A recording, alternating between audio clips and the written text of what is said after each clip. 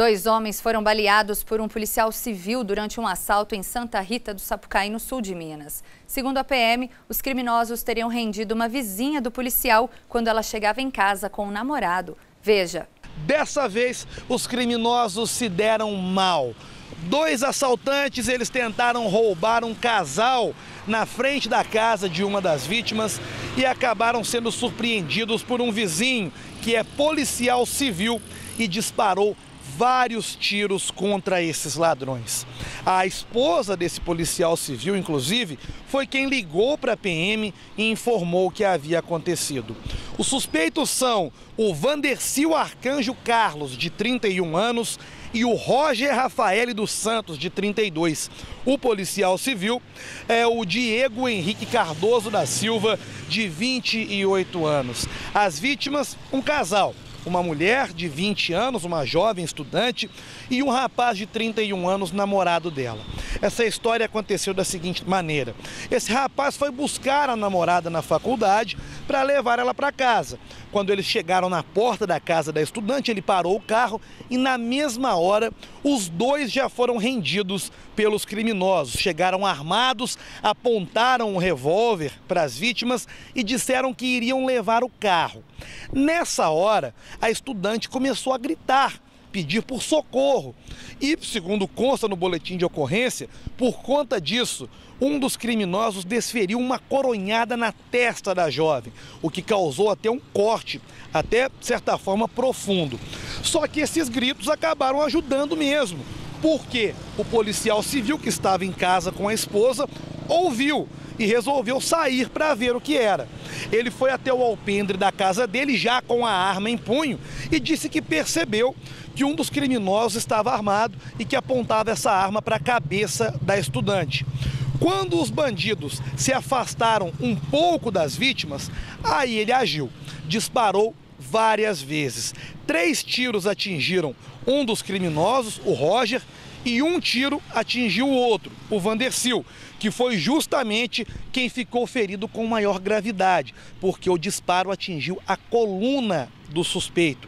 Na mesma hora ele caiu e ficou ali no chão rendido, enquanto o Roger conseguiu fugir. A polícia militar chegou no local para atender a ocorrência. A primeira coisa que fez foi chamar o SAMU para levar o suspeito para o hospital. Ele deu entrada no pronto-socorro do Hospital de Santa Rita do Sapucaí, mas logo teve que ser transferido para o Hospital Regional de Pouso Alegre, porque, segundo os médicos, o estado de saúde dele é grave e ele corre o risco de ficar paraplégico. O outro suspeito que conseguiu fugir foi preso pouco tempo depois, porque ele procurou ajuda justamente no hospital de Santa Rita do Sapucaí. Lá ele acabou sendo detido pelos policiais. Ele foi atingido por tiros no joelho, na coxa e na mão esquerda.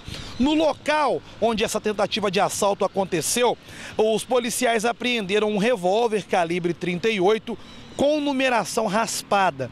Provavelmente a arma que os bandidos usaram para tentar assaltar. E você vai conhecer um projeto do Instituto Arvorecer em Poços de Caldas que ajuda mulheres vítimas de violência doméstica a voltar para o mercado de trabalho. Graças a uma parceria com uma empresa de lingerie, elas estão aprendendo corte e costura e esperam um futuro melhor longe das agressões. Quem vê essas mulheres assim nem imagina o que elas viveram.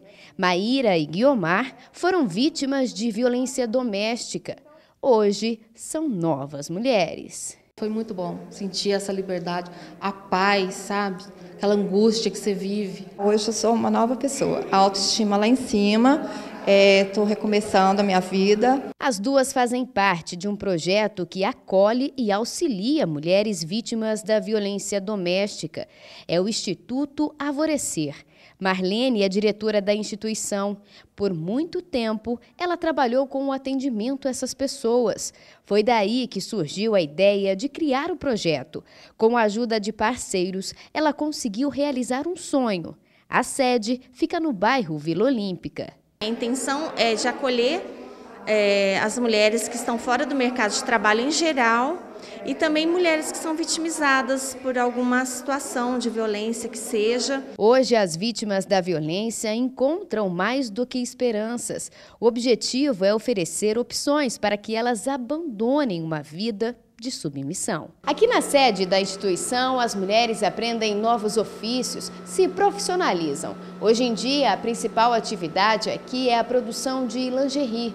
As peças produzidas por elas vão para uma fábrica em Juruáia com esse investimento tanto no maquinário como nos insumos e também como escoar essa produção, porque não adianta só você propor um projeto, mas você também não verificar onde ele vai ser distribuído, porque isso é extremamente importante para a gente ter uma geração de renda imediata para essas mulheres. Tânia, empresária do ramo na cidade que é conhecida como a capital da lingerie, foi a primeira a abraçar a causa. Fazer parte do projeto Arvorecer é uma honra para mim né? Ele vai de link a tudo aquilo que eu acredito, né? É ser muito além né, de uma marca, de um produto. De acordo com os dados do Conselho Nacional de Justiça, só no ano passado foram registrados 388.263 novos casos de violência doméstica em todo o país, um aumento de 16% em relação ao ano anterior.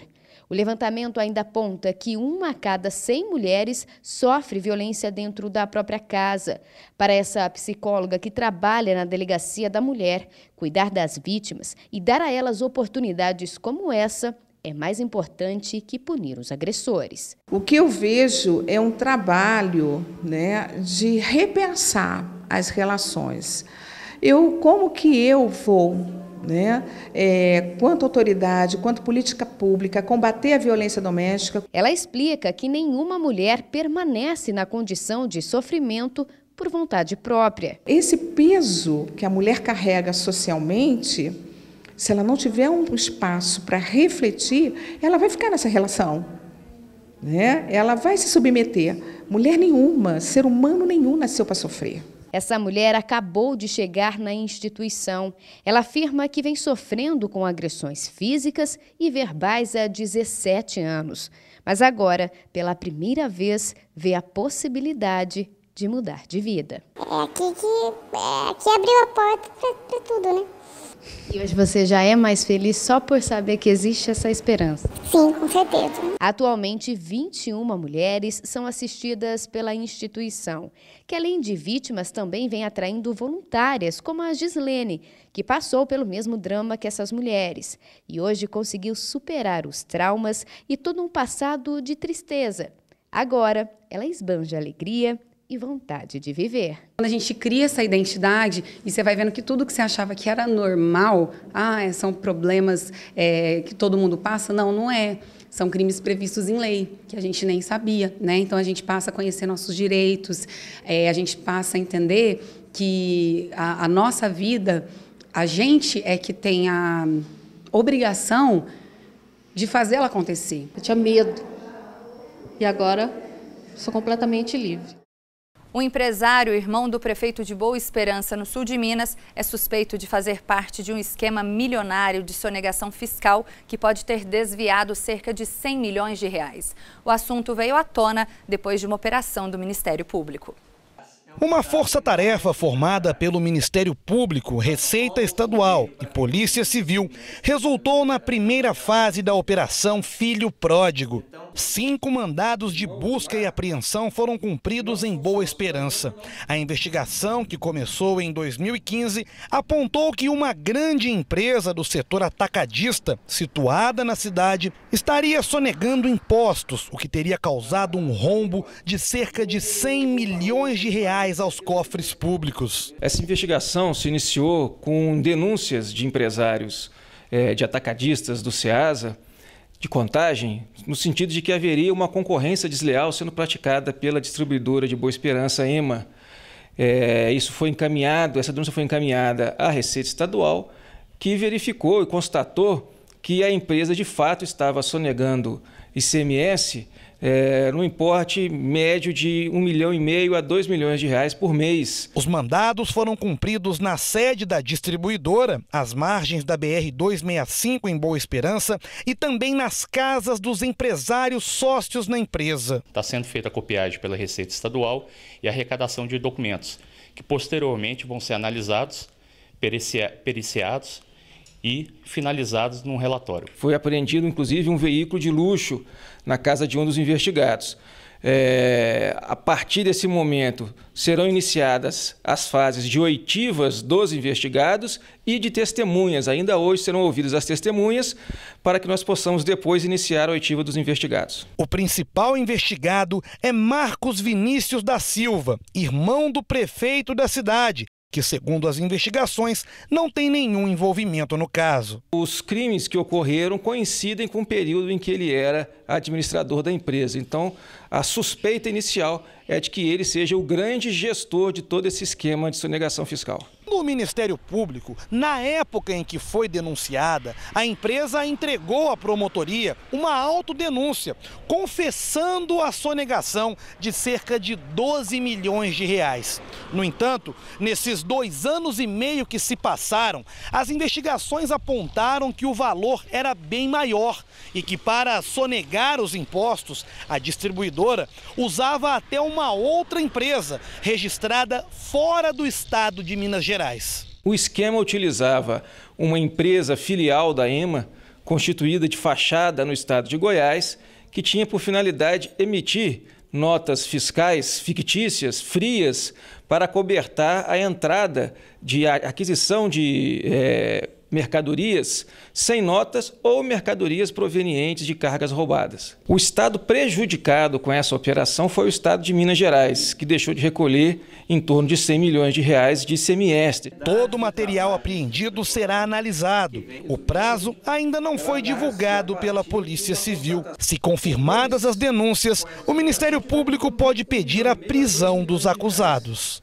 Eles estão respondendo na investigação por crime de sonegação fiscal, crimes de lavagem de dinheiro e crime da lei de organização criminosa, podendo pegar uma pena de até 15 anos de reclusão. Em nota assinada pelo diretor executivo Marcos Vinícius Silva, a empresa informou que está colaborando com as investigações e que irá se manifestar assim que o trabalho da Receita Estadual for concluído. empresários e profissionais do setor supermercadista de Poços de Caldas e região se reuniram na cidade.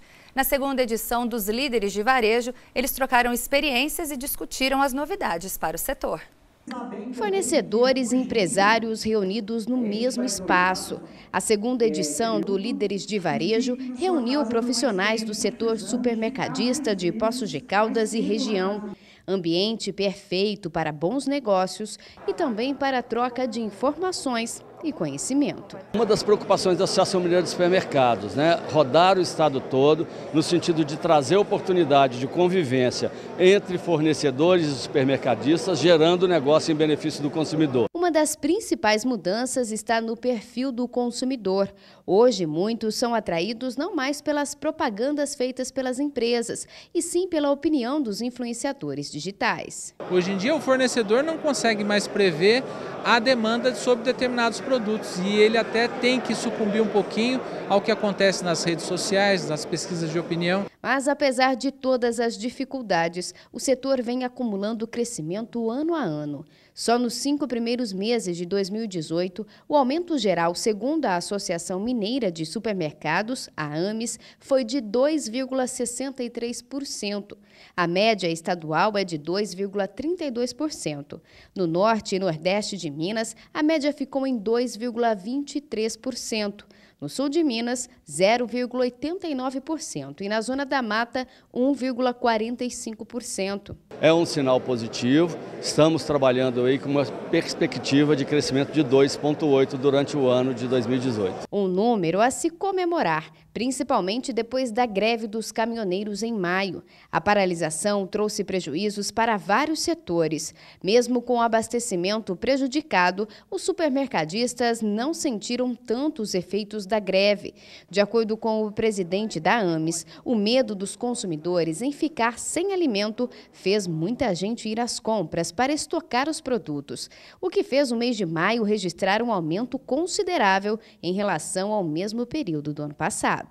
A Copa do Mundo também colaborou com o crescimento registrado. Exatamente porque nós tivemos os, os jogos acontecendo em horário extremamente conveniente para o almoço e para a comemoração. É verdade que o setor supermercadista foi o último a sentir os efeitos da crise financeira e também o primeiro a sair dela. Mas isso não significa que os empresários desse setor não têm com o que se preocupar. A crise não faz com que os consumidores desapareçam dos mercados, mas muda a forma de consumir, que fica bem mais econômica. E aí é preciso se adaptar ao novo perfil do cliente. O consumidor começa a tirar alguns produtos da sua lista de compra e nós temos que trabalhar para tentar ser o mais eficiente possível e conseguir entregar para esse consumidor, pela melhor condição, aquela cesta de compra que ele está acostumado a comprar. Por isso, várias palestras e até um talk show foram promovidos para que, de uma forma descontraída, os empresários pudessem assimilar todas as novidades e adquirir mais conhecimento, já que a expectativa para o segundo semestre é que o setor supermercadista cresça ainda mais. Tradicionalmente, o segundo semestre é melhor do que o primeiro semestre, né? Nós estamos com a expectativa de uma melhora de venda né, em relação ao ano passado. Nós ficamos por aqui, voltamos no sábado que vem. Um ótimo fim de semana para você e amanhã é Dia dos Pais. Feliz Dia dos Pais para quem é pai, em especial o meu pai. Um beijo, até semana que vem.